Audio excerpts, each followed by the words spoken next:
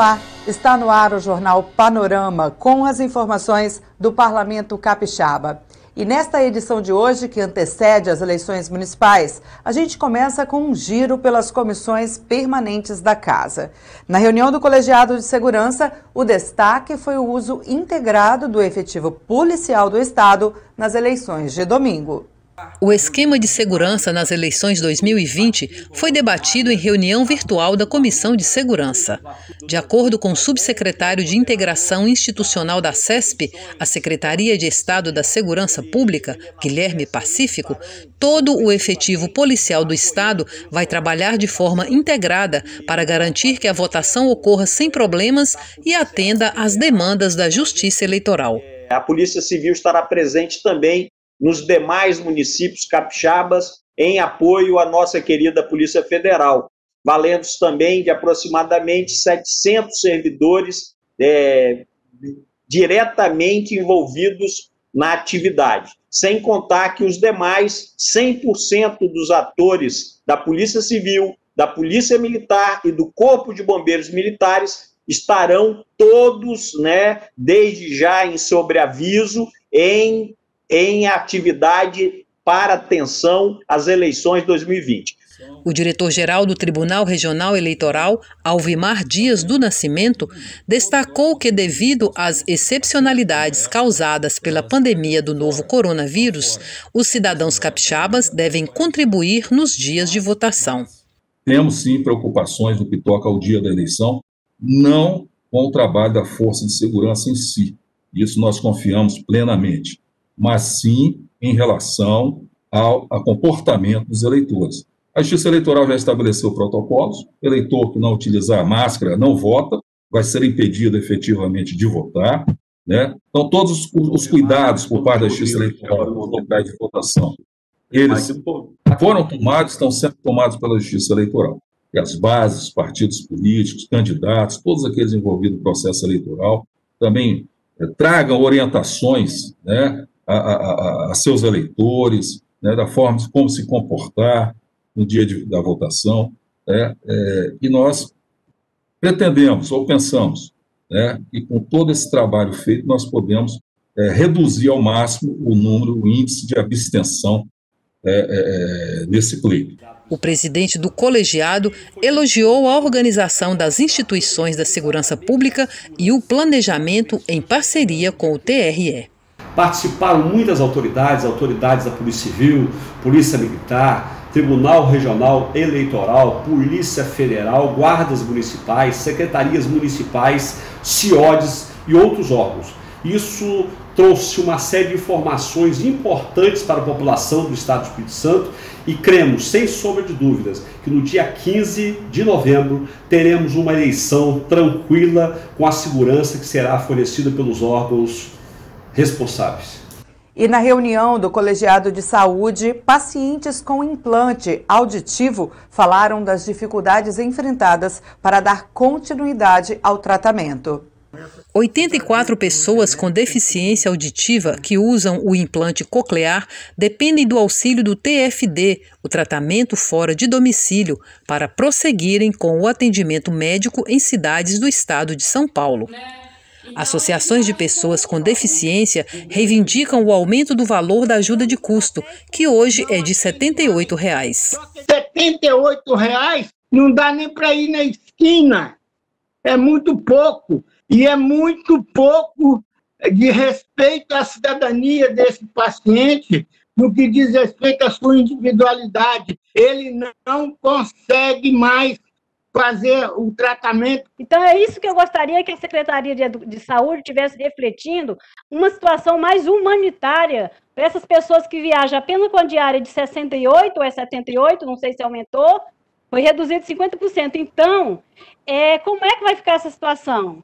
A orientação dos representantes da Secretaria de Estado da Saúde é que seja formada uma coordenação estadual para centralizar a gestão do tratamento fora de domicílio e atender às demandas dos pacientes. Nós estamos no momento já de planejamento e nós precisamos ter essa coordenação estadual, que é para a gente poder ter escuta dessas demandas e tentar nos organizar é, com as quatro superintendências, né, porque nós temos que ter uma padronização de trabalho, fazer o levantamento dessas demandas, porque as, as superintendências não podem isoladamente responder pelo Estado como um todo, e a gente nunca teve esse processo de coordenação estadual, de uma gestão estadual, de uma referência estadual, para poder trabalhar as demandas enquanto Estado não é enquanto é, superintendência de, de norte ou sul, na, ou central. Né, ou metropolitana.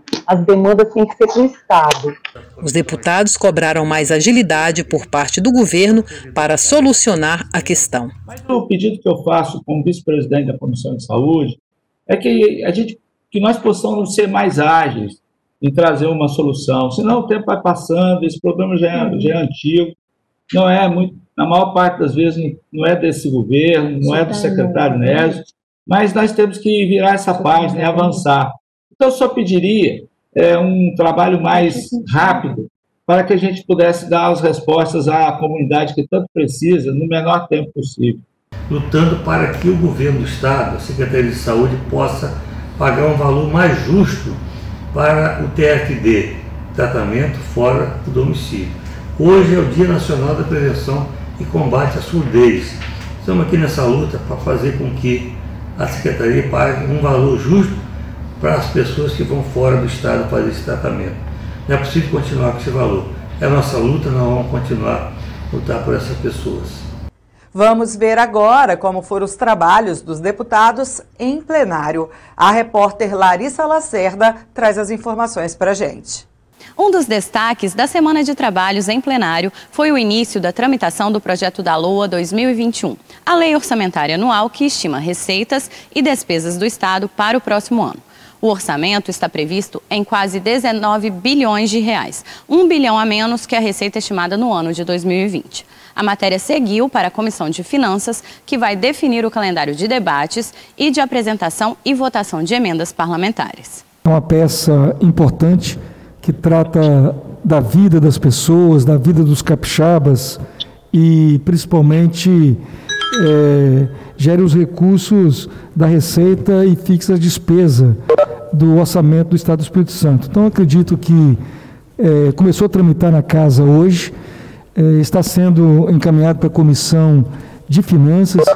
Eu tenho certeza que o, o nosso presidente da comissão, deputado Euclério Sampaio, deve convocar uma, uma reunião na comissão e, e aprovar o cronograma, abrir prazo aí para os deputados fazer as suas emendas e não tenho dúvida nenhuma que nós vamos é, votar o projeto é, do orçamento antes do recesso, que é assim prega a Constituição. E quatro projetos de autoria parlamentar começaram a tramitar durante a semana. Destaque para a iniciativa que inclui, na grade curricular das escolas de ensino fundamental e médio do Estado, a disciplina História e Cultura Afro-Brasileira. A proposta é do deputado Coronel Alexandre Quintino. Esse projeto de lei é, se deu em face da necessidade dos nossos alunos, dos nossos adolescentes e jovens, ter o conhecimento da formação étnica do Espírito Santo, uma vez que a população do Espírito Santo é mais de 50% é composta por pardos e negros, e é necessário que esses jovens saibam a importância da cultura negra na formação do Estado e no desenvolvimento do Estado do Espírito Santo. E a taxa de transmissão de Covid-19, que voltou a aumentar no Espírito Santo, foi repercutida em plenário. Deputados destacaram a importância da população seguir os protocolos preventivos. Estamos também preocupados com a possível segunda onda do Covid-19. Estão se falando de alguns países do mundo já tem, e nós estamos preocupados aqui no Brasil. É, a gente passa, vê essas praias cheias, as mesas dos bares restaurantes lotados, passa na rua muita gente sem máscara. Então, enquanto não tiver a vacina, a máscara, o álcool em gel, o, o, o que a gente tem feito com frequência.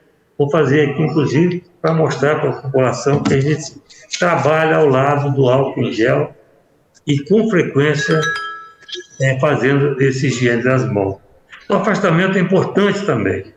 Aquele que puder ficar isolado também é importante. Muitos têm que trabalhar. Se você tiver febre alta, tosse seca, dificuldade para respirar, cansaço, fadiga, que é muito parecido com cansaço, diarreia, perda do paladar ou do olfato, do cheiro. Se tiver dor de cabeça também, você procure a unidade de saúde ou procure seu médico. Você poderá estar com Covid-19. É uma doença grave que tem matado muita gente.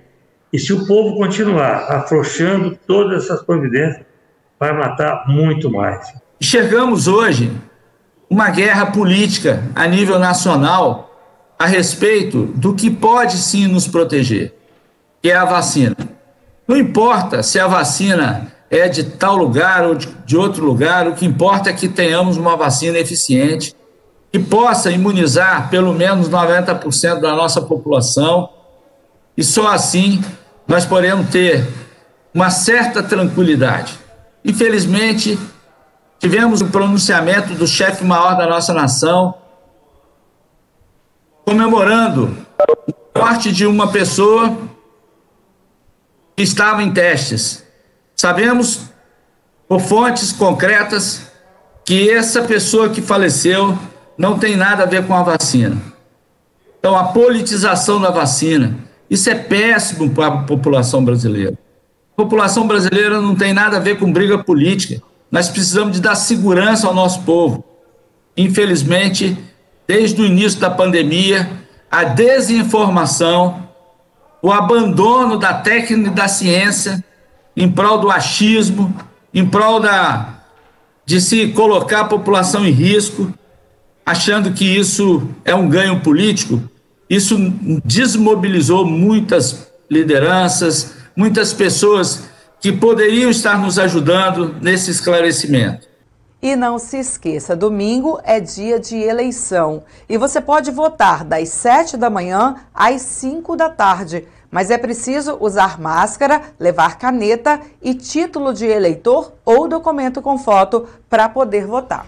E o Jornal Panorama de hoje fica por aqui, mas você pode continuar se informando sobre as atividades do Legislativo Estadual pelo portal e também pelas mídias sociais. TV Assembleia, mais perto de você e agora no canal 3.2, aberto e digital.